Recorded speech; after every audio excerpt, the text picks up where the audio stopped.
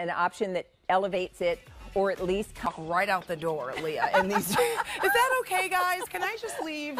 I mean, honestly, I've got to get these in both oh, washes. And you, tall inseam? Yes, of course, Yes. tall inseam. So 34 inches for those, those of us who want the tall inseam. Petite is going to be a 28 inch inseam, and then the regular is 31. So um, a thousand pairs of the trousers.